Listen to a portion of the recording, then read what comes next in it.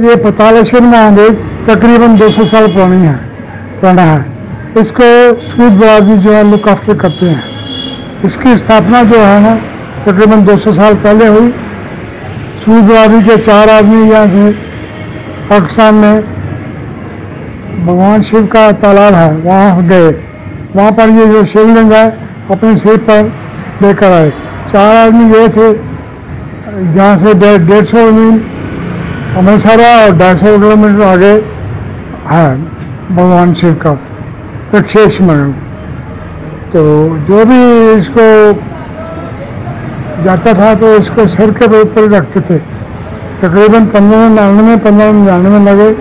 और ये शिवलिंग जो है, इतना सिद्ध है कि ये सिर के ऊपर रहता था। वहाँ पर उसके मंदिर के साथ तालाब है।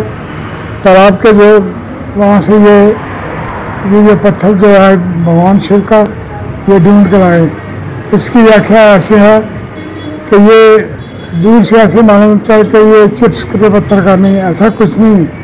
ये भगवान का पत्थर है, जैसे मोती है मोती है मोती है, गंगा सागर है, ऐसे वो मंदिर है। तो इसको पूजने से हर प्रकार की सिद्धि जो है, सिद्ध होती है। भगवान शिव की पूरी इस मंदिर को देखते हुए पूजा करते हुए तकरीबन मुझे तैतीस साल हो गए हैं coaching point in IELTS and spoken English. Also expert in study and visitor visa. Government approved. SS Group. Session Chowk, Hoshiarpur.